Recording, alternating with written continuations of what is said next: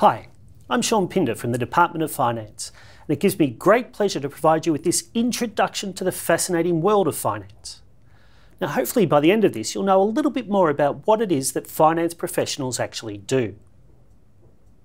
So, here's a quote from our department webpage that neatly summarises the focus of the finance discipline. Finance professionals are concerned with the management of assets to create wealth for investors or companies.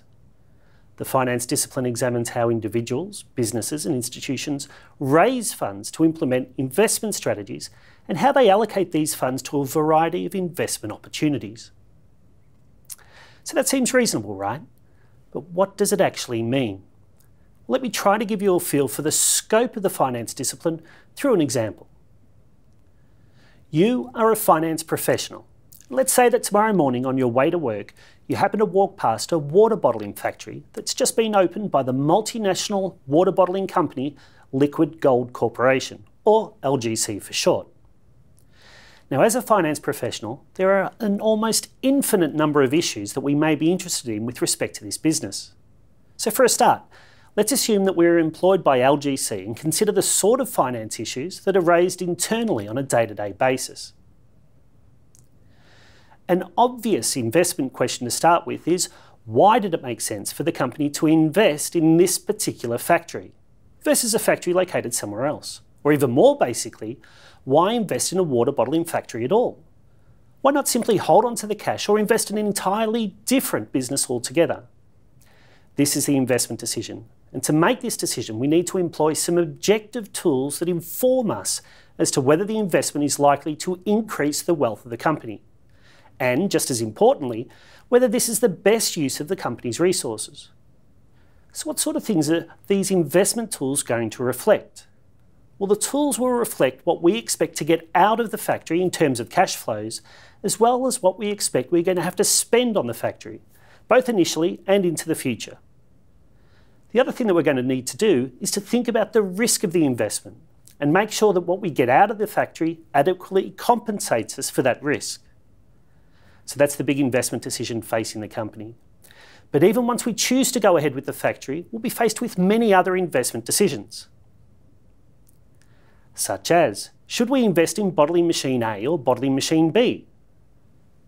Or should we re engineer the production process so as to change the type of product that we're producing? These are all examples of the investment decision, but that's only one of the decisions that we face as a finance professional within LGC. Another issue for us is the financing decision. That is, where do we get the funds needed to fund the investment decision that we've just made? One of the key financing decisions a firm faces is whether it should use its own money to pay for the investment or should the firm borrow funds. If we borrow funds, then do we borrow long term or short term? Do we borrow at a fixed rate or a variable rate? Do we borrow from a single bank or from the capital markets more generally? These are just a few examples of the types of financing decisions that we face as finance professionals employed by LGC. Another important question we need to answer as a firm is how the firm might manage risks. The risk appetite of any well governed firm should be set by the firm's board of directors, who are, of course, the elected representatives of the company's owners, the shareholders. But responsibility for the implementation of policies that reflect the firm's risk appetite falls upon the shoulders of the firm's management team. And this is where the finance professional has a significant role to play. To illustrate the importance of risk management to the Liquid Gold Corporation, LGC, let's think about some of the cost structures that they face. One of the key inputs into making plastic bottles is high density polyethylene, which is a petroleum based product that's derived from crude oil. Now, as you would expect, the cost of high density polyethylene is closely related to the price of oil.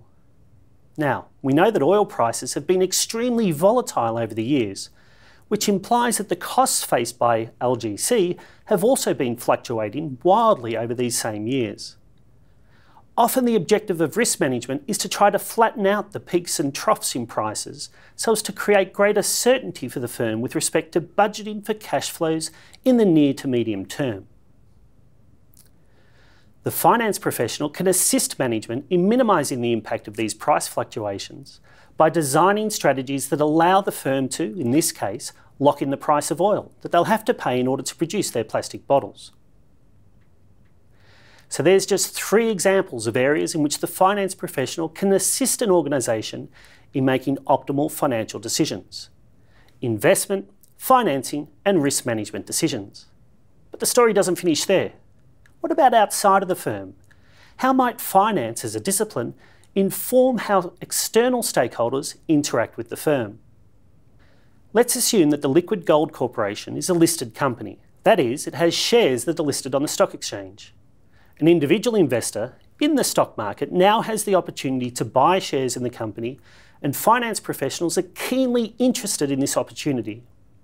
For example, one type of finance professional, the stockbroker, is interested in valuing the shares to work out if they represent a reasonable investment. Now, this will require them to assess the price of the shares and in so doing weigh up the risks inherent in the investment against the returns promised by that investment. Another professional, the financial planner, might be more concerned with how the investment in LGC fits in with the investor's wider portfolio of assets as well as the investor's timeframe for investment. And then there are those finance professionals that are interested in working out exactly how individuals make investment decisions, such as investing in Liquid Gold Corporation. And they do this by examining how electrical activity within the brain changes depending upon the decision made.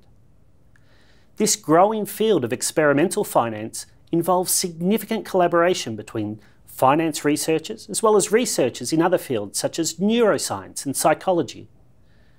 These are just some areas where finance professionals have an interest in decision making by individual investors, but there are a host of other stakeholders that LGC are interacting with, which benefit from the expertise provided by their own finance professionals. Such as banks and other financial institutions, who must make decisions about how much of their deposits they should lend out as well as who they should lend to and what rate they should charge for lending. Liquid Gold Corporation is also affected by the finance professionals operating within the government. For example, tax policy will affect the viability of different investment projects, as will tariffs imposed by governments here and abroad. Finally, a firm can't forget its competitors, who employ their own team of finance professionals to assist in setting their own prices, building their own factories and establishing their own investment, financing and risk management strategies. So I hope that gives you a taste of what it is that finance professionals do on a daily basis. As you can see, finance is a unifying discipline in that we take the information provided by the accountants, the theories developed by those in the disciplines of economics, management and psychology, and the statistical tools designed by our colleagues in econometrics to solve real financial problems faced by individuals, corporations, financial institutions and governments and regulatory authorities on a day-to-day basis.